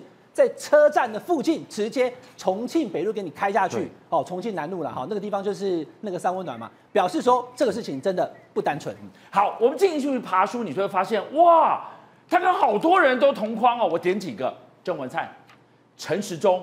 再讲下去，我看一点点把款跨出几条线，怎么会这么巧啊？好，那观众朋友刚刚讲的嘛，一个是时间特别，另外一个就是。对象特别，吴明达这个人特别，他的人他哪里特别哈？因为基本上你要知道，他来自草莽，出自江湖。可是呢，他后来这几年都在做公益事业，公益事业。所以因为这样的关系呢，他常常有这一些募款参会啊，那就是政商界的人，他都常常同台了嘛。现在看这些照片呢，基本上呢，很多都是有的是在网络上有人抛出，甚至是这个吴明达自己抛出来的嘛。他跟这个陈时中曾经在这个慈善晚宴当中的餐具当中去剖哦，觉得充满希望。我参加这些活动，那有谁？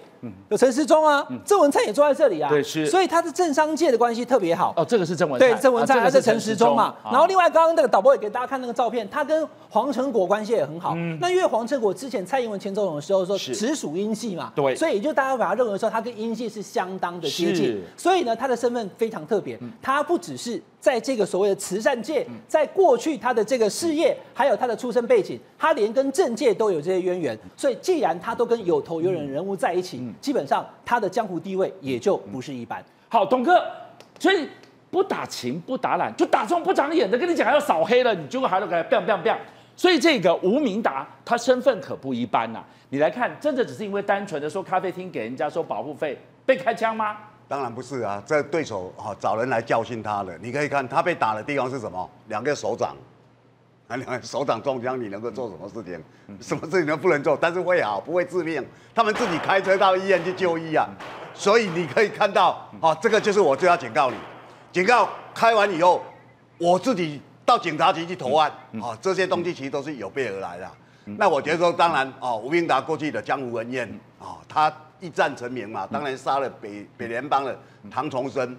唐崇生是我们自台湾自有江湖以来，长得最帅的黑道，嗯。啊，长得最帅，没有人比过他。啊，那那时候大家都都觉得说，哎，他怎么敢，啊，当众杀了哦那人家的帮主，不怕人家来报仇，可是他就进去坐牢了，判无期徒刑。关了十八年以后出来就变大哦大咖了，那大咖这些事情他都敢做啊，所以我们哦可以知道，连青山宫的那个他都敢去开枪啊。黄清炎大家记得吧？人家也是够大咖，所以你把这些东西综合起来的话，好，他现在写聪明了。你有时候好，只要你过去是这样的话，要漂白就要做一个慈善基金会，这个基金会是什么？威震嘛。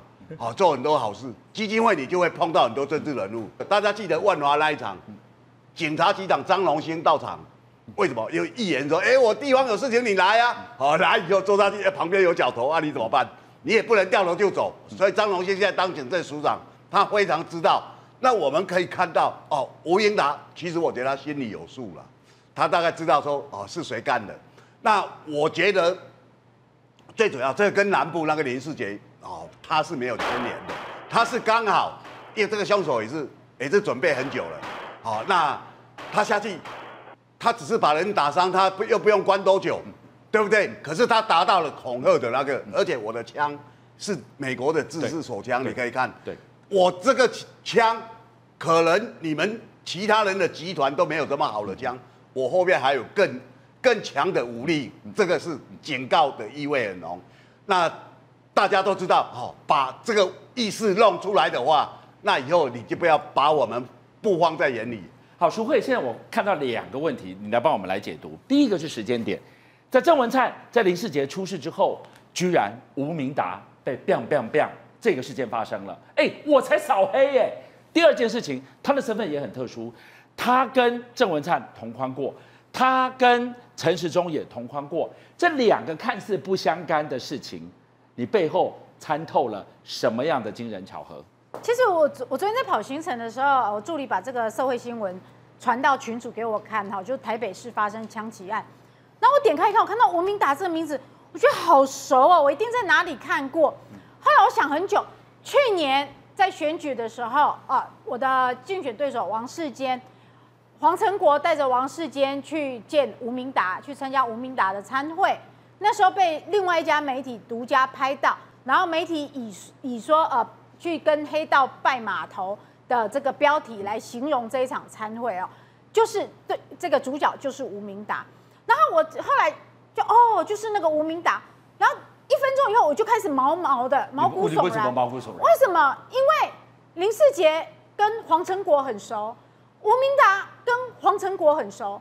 对，没有错。黄成国跟很多呃这个老大哈，老大角头老大可能都很熟，可是也不是所有的全台湾的角头老大都刚好跟黄成国国歌熟嘛，对不对？那刚好在这两个人都跟他熟，然后就前后几天而已，哎，然后前后几天一南一北两个跟国歌熟的角头两老大都先后中枪，那。这个是不是太过巧合了？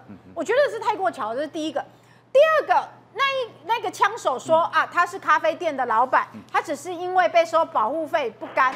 请问一下，如果这个咖啡店的老板他手中有枪，他还会被收保护费吗？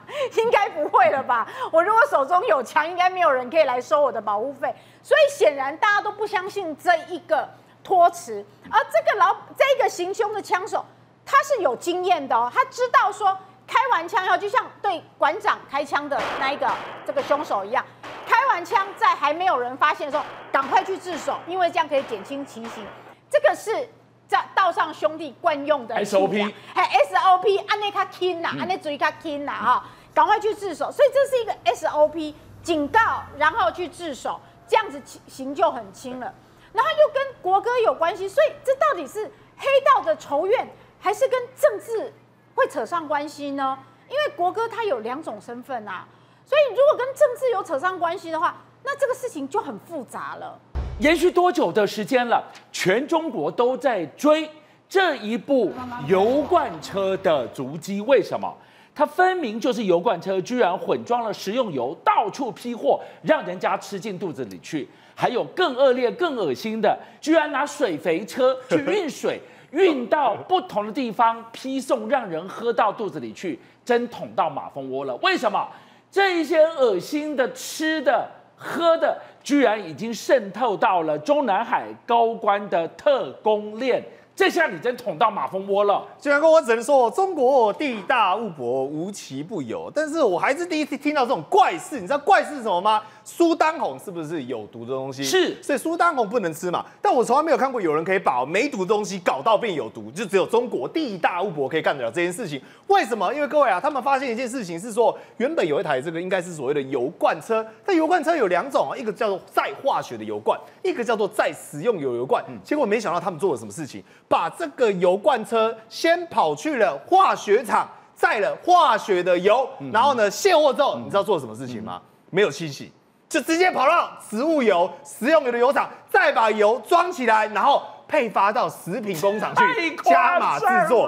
但，他们就是搞这种事情嘛，所以他们想说，哎，拜托，这是二零二零八年毒奶粉之后最大的食安风暴。我跟你讲，这比毒奶粉还严重。你怎么能想象一个国家可以允许这样的事件从二零零八过了十六年之后的今天继续再发生？那就是跟这两件事不能比拟。因为我们刚才讲毒奶粉这件事情，是说他明知不可为，是啊，他刻意去下毒嘛。是，但这个不是啊，这个就摆明就闹乌龙。你怎么会天兵到说我去拿装化学原料的这种油罐车，然后同样再把同样的油罐车跑去装食用油？因为这个是整个连监视器画面都拍到，他跑哪里？他先跑到浙江的一个化学工厂里面去。那去化学工厂干嘛？当然是载油啊！它载的是什么？化学油嘛。他把化学油载完之后呢，跑去卸货。卸货之后，他连洗都没洗，就直接再跑到植物油的油厂，再跑到食用油厂，然后装着这些植物油，装着这些食用油，然后跑去干嘛？配送。因为是各大我们讲食品工厂都会需要用油嘛。是。对，所以他们就看到谁吃到谁倒霉了。对他们看到这个来，你看哦，他们说这些他到底跑到哪里去了？很可怕。来，你看啊，第一个。金龙鱼，这个是我们讲的鱼金龙鱼工厂，是甚至物流集团，甚至呢陕西的一个油料小作坊，包括驻马店河南的这个康油厂，陕西的西瑞集团，各位啊，它等于是全部他们现在去盘查它的所谓的行动轨迹，跟我们当时的文章一调足迹一样，知道吗？去查这样的油轨迹，发现不对，整个全中国到处都遍布了。到处都跑，从南到北，他都有去涉猎掉。所以他这个 tank 里面，他已经混了那个化学油跟食用油，然后通通配下去，通通吃下去了。对，是中国官方很生气嘛，说你这个行为哦，跟投毒没有什么两样。哦，对，这就是投毒哎。因为我坦白讲，这叫做便宜行事嘛。那便宜行事，没有人便宜到这种地步的啦。那为什么说？你知道这个陕西哦，是他们最至关重要的一个大问题。因为这个陕西，你知道是跟什么有关吗？跟什么有关？跟中南海有关。他刚好把这个原料送到了来中国特供食品。我知道你们说艾宇轩到底什么是中国特供食品？我想中国有一个怪现象，因为他们普遍对于食安呢都没有信心，所以包括中南海的官员哦，他们有特别制作，比如说米啊、油啊、盐啊，就是精选过的，叫做特供品。而这些特供品呢，会放在百货公司，比如说四楼某一个神秘的房间里面，这种七号房。那你一定要是高官，你才可以凭证进去里面，而且进去里面这还可以干嘛吗？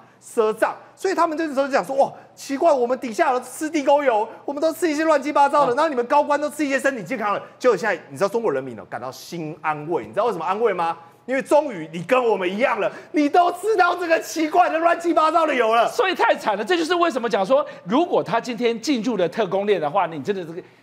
该死了！你这是捅到马蜂窝了。对，所以他们讲为什么高官这一次呢一定要严格查办，甚至态度非常严厉，说说这个就叫做投毒，因为理由很简单嘛。以前呢，如果说是一般的老百姓，老百姓吃到的啊，不要进啦，你矿一些牛啊，哎，没病啦啊，不干不净，吃了没病。但这一次不一样哦，这一次是中国高官，你看一下，哎，特需专攻。内部特工，特工这多么哎严谨的东西，就是给高官吃的嘛，给我们讲的什么什么正部级、什么正国级的这种高官吃的，就竟然连他们都知道，所以难怪这时候才说要严厉查办。这下就真的叫做雨露均沾，怎么办啊？来，更恶心的在这个地方，居然该喝的干净的水，他是用什么东西把你运过来？用水肥车啊！哎，对，你看哦，他遇到这件事情哦，中国官方态度就好像没有那么激烈。为什么？因为我们刚才是讲化学油的车辆跑去载食用油，结果他这是什么？他是说原本看到一台车子，对不对？然后他在送水，到处去送水。各位就你看到哦贴开的送水车，结果他说为什么要用纸贴啊？就民众呢就好奇，把那两个字塞下来，就发现说不对，这不叫送水车。来再看一次哦，送变成什么？哎，变成稀，哎，送怎么变稀了？哎，这水变什么？变成这个肥，它变成稀粪车啊！它等于是说原本是是不是包括管线里面哎，有那种那种排泄物，然后到处去吸，到处去吸嘛，那种臭臭臭臭，排泄物吸一吸，就它吸完之后排放完之后，让我们再装水，装水之后再去供给给大家喝。那中国地大物博，这种怪事什么都有，化学的可以拿去给人家当食用油，连这个吸粪车都拿去送水。拜托一下，车子没那么贵，多准备几台有这么困难吗？牵扯到车的是绝对没有灰色地带。习近平说，中国人的饭碗牢牢捧在手掌心，前面是人祸，再来连天灾，老天爷都不帮忙啊！所以他们来讲，如果我是中国人哦，我什么都不会相信的，我直接就会跑到产地，跑到农地里面自己去割麦子，自己去割西瓜，自己来吃。但你知道，等到中国如果真跑到产地之后，会发现一件事情，哇，完蛋！为什么？因为产地怎么通通都没有？因为他们现在不是讲南涝北旱，南涝北旱吗？北方种的什么？有玉米，就玉米不好意思哦，太阳太大了，帕嘎那 wiki 啊，整个延后，我们讲才能够收成。就是南方呢，你以为想要去吃这种好吃的稻米啊，对不对？不好意思哦，整个都已经被洪水冲走。所以以前习近平最爱讲句话说：“哎呀，粮食安全就是我们的国家安全。”对，粮食安全是为国家安全。是你们现在国家有危险了，为什么？因为整个粮食出现大危机，极端气候关系，而且甚至是我们讲这是天灾啊，但还有人祸的部分啊。中国是不是常常传出说淹水淹水？结果后来发现说根本不是因为雨下太大，是什么？是因为官方整天都在泄洪。比如说以这一次为例好了，湖南总共有八十七个水库，他们讲中国恐怕是数以万计的水库哦，每个都跟核弹一样危险。为什？八十七个无预警同时泄洪，就跟你现在看到的画面，它全部的水可以全部倒出来。就你知道下游发生什么吗？动物农场直接被淹死，然后人的家里呢家破人亡。各位你现在看到的就是农场画面。拜托啊，哎、你看一下，迄底下呢，规拢泡你追来对，全部都 A N C，，所以导致说这民众呢只能够怎么样？政府不救我们，我们只能自救。有一个女子呢就是这样子，她就开车开车，然后过过桥下，就过这个水涵洞，就水了淹上来了，淹上来，你知道这个男子很英勇哦，说来来来，我来救你，他直接用手就把这个车窗有没有看到？徒手把车窗 biang biang biang 先敲碎，用手敲，再整个撕下来，把这个女子给救出来。而且不只是这样，他们讲说因为泡水车问题太严重了，所以中国各地现在怎么样？他们说以后我们造水哦要有一个新方向。中国是不是最爱宣扬自己的两栖登陆舰？那我们以后干脆做这种两栖登陆车，会游泳的车子好了，否则我们实在不知道，连吃个饭，哎呀，都变流水席了。流水席什么？台湾也有流水席啊。他们的流水席不是啊，是我这边一吃，脚下水一边流一边流，然后到还有呢鬼咖要站高处，否则呢吃着吃着可能又有东西会滚进去了，而连水库我们讲山东也一样被淹没，所以你就知道在中国正常东西也不能吃，而吃这种流水席的东西，我都怀疑上面的食物会不会都还比用那种我们讲的吸粪车，用那种我们讲的奇怪的化学油罐车晒的油还来的安全。五七报新闻的所有好朋友，你们给了我百万的订阅，真的无限感激。我要跟大家瞪眼看，再一次谢谢你们大家，同时请介绍更多好朋友来支持五七报新闻。俊相还有优秀的五七报新闻团队会继续为大家每一天挖真相。